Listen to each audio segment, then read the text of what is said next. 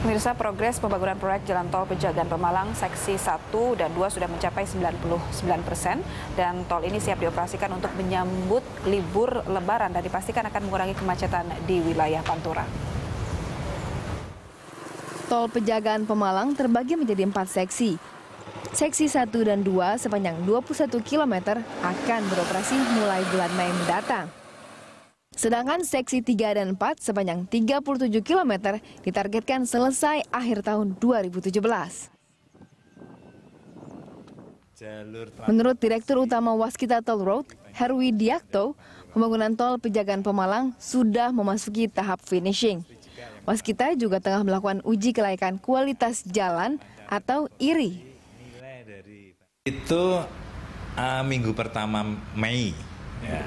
ya, sekarang ini proses kita mengajukan lay operasi ke BPJT yang merupakan regulator jalan tol ya.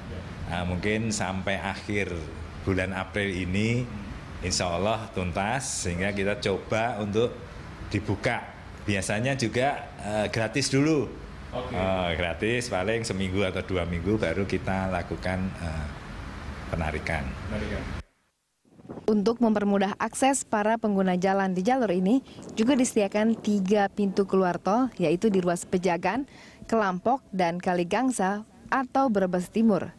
Tiga pintu exit tol ini nantinya juga difungsikan untuk rekayasa lalu lintas ketika terjadi kepadatan di dalam tol saat arus mudik lebaran berlangsung.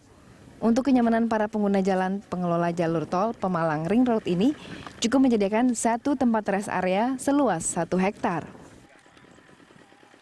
Sementara itu, pihak Polres Brebes tengah membangun sejumlah pos pengamanan di beberapa titik yang dianggap rawan kemacetan. Pos-pos pengamanan ini nantinya akan ditempati oleh petugas kepolisian dari Satuan Lalu Lintas untuk memantau situasi arus lalu lintas di dalam tol. Jadi kesiapan kita, jadi kita sudah ada pos exit tol Brebes Timur yang kemarin dibangun oleh Was kita. Jadi kita tempatkan di sana personil khusus untuk Turjawali, di sana piket 24 jam. Hmm. Jadi untuk mengantisipasi arus yang keluar tol maupun yang masuk tol baik dari arah Tegal maupun dari Jakarta. Jadi kita sudah siap untuk mengamankan jalur uh, antisipasi kemacetan baik yang keluar maupun yang masuk tol dalam tol.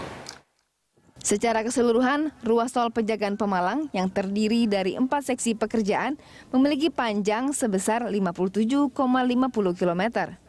Sementara proyek ini menelan nilai investasi sekitar 5 triliun rupiah.